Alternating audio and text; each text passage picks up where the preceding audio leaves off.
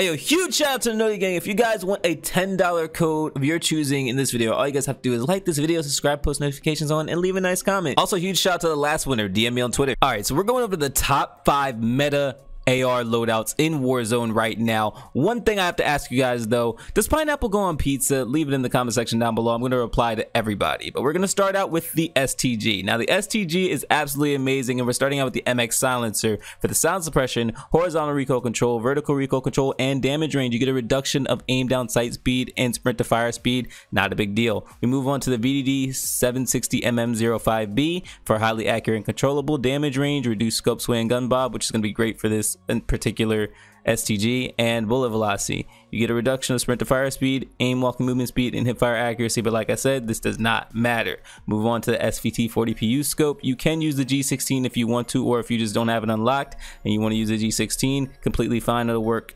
just as well. You just won't have as much magnification and you might get a little bit more recoil control. I threw on the VDD 27 Precision for the increased horizontal recoil control and aim down sight speed to get a reduction of hip fire accuracy and movement, but not a big deal move on to sleight of hand. Now, if you're somebody that believes in Vital, throw on Vital. I believed in Vital at 1.2, but I've been constantly been told that it doesn't work for the STG, so my hopes and dreams have been crushed and I'm using sleight of hand. Moving on, we're going to use on hand for the increased aim down sight speed, and I mean equipment dexterity if you really care about that.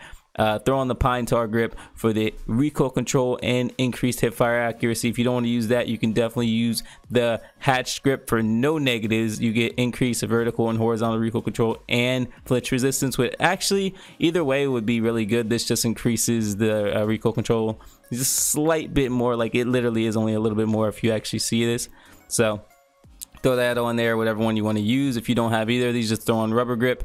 Uh, this one is controversial. I actually talked about it before. It's the 8 millimeter Kurz 60 round drum. Now you get a reduction of aim down sight speed, reload quickness, and movement speed, but you have 60 rounds, and this actually hits harder than the Gorenko 50 round mags. But if you cannot control the recoil of this, then it's completely fine to use the 7.62 Gorenko 50 round mags for the recoil control and accuracy, movement speed, aim down sight speed, and fire rate. You get a reduction of damage and bullet penetration, but it is a bit faster. So this is stronger, but I mean, it's whatever one you really want to use. I threw on lengthen for the increased bullet velocity and Carver foregrip is the final attachment for this to increase the vertical recoil control and hip fire accuracy with a slight reduction of aim down sight speed. This is the STG, but we're going to move on to another fan favorite, which is the NZ41. Now, I threw on the MX silencer for this for the increased sound suppression, horizontal recoil control, vertical recoil control, and damage range. Once again, the slight reduction of aim down sight speed and sprint to fire speed completely fine. We're going to move on to the Orb Weaver 360 MMBC for the highly accurate and controllable, reduced scope sway and gun bob, and bullet velocity. At one point, it was the lower Mark 1 burst because you could toggle and it was just, it was amazing. But apparently they nerfed this to the ground, so the Orb Weaver 360 MMBC is the best option, especially with the bullet velocity. It's absolutely insane. They're on the SVT 40PU scope. If you don't have that, then you can use the G16. The only downside to it is I just don't think that it's as efficient. I th- I do think it's good, but I think it's more so good for mid range. The long range would more be this one right here.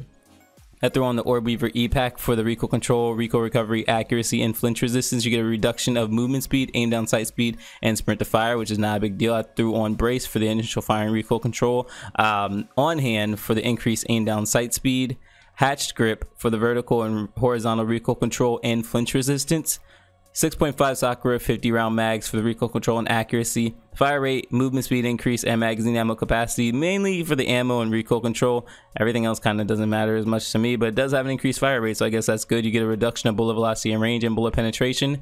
Uh, throw on lengthen for the increased bullet velocity and M1941 hand stop for vertical and horizontal recoil control. Completely up to you if you want to use that, or you can use the Carver foregrip and have even more accuracy and this will be the best build for the NZ41. Now you guys are probably wondering, these are the two main guns, what are the other three? Now I'm going to show you guys a secret gem. Now if you guys know about the M4A1, this thing is absolutely incredible. We're going to start out with the monolithic suppressor. So everybody that's played Modern Warfare, you guys know this gun hits hard. It increases sound suppression and damage range, slight reduction of aim down sight speed and aim walking steadiness. And we're going to throw on the stock M16 Grenadier for the damage range, bullet velocity, and increased recoil control. Slight reduction of aim down sight speed and movement speed, but that's not a big deal. We're going to throw on the VLK three times optic. Um, I mean, this is honestly just the best choice unless you're trying to use this as an SMG. And if you are, I have a video for this gun in my channel right now. you're going to put on the 50 round mags just because you want 50 rounds. I mean, 60, you have a little bit less movement, aim down sight speed, so it's completely up to you if you want to use that, but I think 50 is fair. And Commando foregrip for the recoil stabilization and aiming stability, you get a slight reduction of movement speed though. There's two more, and I know you guys are to love these. One is the Cooper Carbine. The Cooper Carbine is absolutely amazing. Trust me, you're to want to use this. Now, we're to start out with the MX Silencer for sound suppression, horizontal recoil control, vertical recoil control, and damage range. You get a reduction of aim down sight speed and sprint to fire speed. You're going to put the 18 inch Ragdoll G45 for the bullet velocity and range and recoil control with a slight reduction of hip fire accuracy, fire rate, and aim down sight speed. We're going to fix that, so no worries. Put on the SVT 40p U scope, completely up to you if you want to use the G16, but I mean, it, like I said in the previous ones, it's just not as efficient. Uh, Cooper custom padded for accuracy and recoil during sustained fire, plus flinch resistance. You get a slight reduction of initial firing recoil and aim stability, or whatever one the other one is. Put on this for accuracy of recoil during sustained fire, and on hand for aim down sight speed. Put on the hatch grip for vertical and horizontal recoil control and increased flinch resistance. Throw on the 9mm 60 round drum for the vertical control. I mean, I'm sorry, the recoil control and accuracy, fire rate, aim down sight speed, and magazine ammo capacity. This is the best choice, even though you have a reduction of bullet velocity and range, bullet penetration, damage, and reload quickness. You're going to put on compressed rounds for the increased fire rate and Carver foregrip. And this is going to literally be able to take anybody out from any range. If you watch my Cooper video on my channel, you'll see I absolutely mapped people that were like so, so far. I, I can't even explain it. This thing can destroy from any range and it's extremely fast TTK. So try it out. This is one of my personal favorites. There's one more, and I know you guys are going to love another hidden gem, and I know a lot of people haven't had the opportunity to use this in a while, but it is the Automaton. We're using the MX Silencer for the sound suppression, horizontal recoil control, vertical recoil control, and damage range. Now you get a reduction of aim down sight speed and sprint to fire speed, throwing the Anastasia Sniper for the bullet velocity and range and accuracy. You get a reduction of hip fire accuracy and aim down sight speed. Not a big deal. You're not going to be hip firing this gun. I mean, if you don't have this, I don't really know a good alternative. Maybe the first one, actually.